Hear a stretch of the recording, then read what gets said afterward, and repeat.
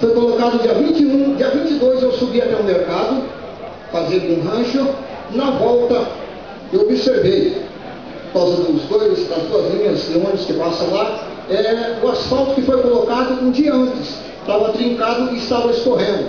E me doeu, me doeu, porque é nosso dinheiro que nós colocamos para deixar uma cidade sorriso, uma cidade bem é, organizada, mas da maneira que colocaram lá, eu fui obrigado a registrar e a levantar o asfalto. Enfim, estamos lá.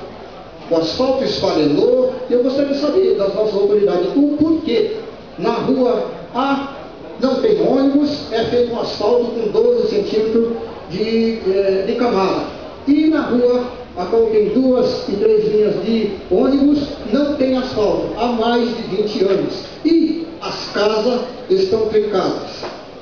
Todas estão trincadas. Se vocês quiserem ver depois, está aqui. Aqui, rachadura que cabe quase meu dedo.